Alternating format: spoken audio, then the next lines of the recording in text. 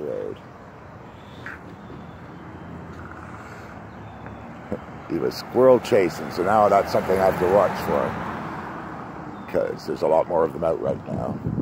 It is much early in the morning. I hear a woodpecker somewhere. um, trying to avoid as many people as possible until I find out whether I'm contagious or not. Um, in the meantime, I still have to take Scooby outside. So, you know, essentials, things that you have to do.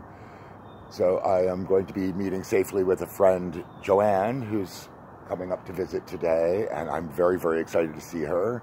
It's sad that we're going to have to distance ourselves a little bit of extra, but I really don't want to make anybody else sick. So I hope everybody has a really good day. And as I find out more information about what's going on with us, I will be informing people. And until the next time, take care of yourselves and each other.